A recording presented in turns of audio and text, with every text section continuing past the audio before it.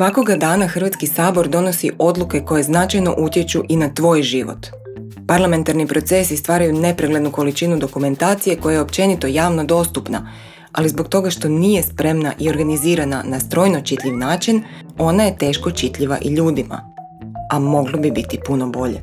Programeri bi mogli obogatiti svoje projekte jednostavnim pozivima u organiziranu bazu podataka koja svakog dana donosi osvježene rezultate. Novinari bi mogli prikazivati širu sliku svake parlamentarne rasprave s nekoliko klikova ili pak usporediti glas svake saborske zastupnice s njezinim stranačkim klubom.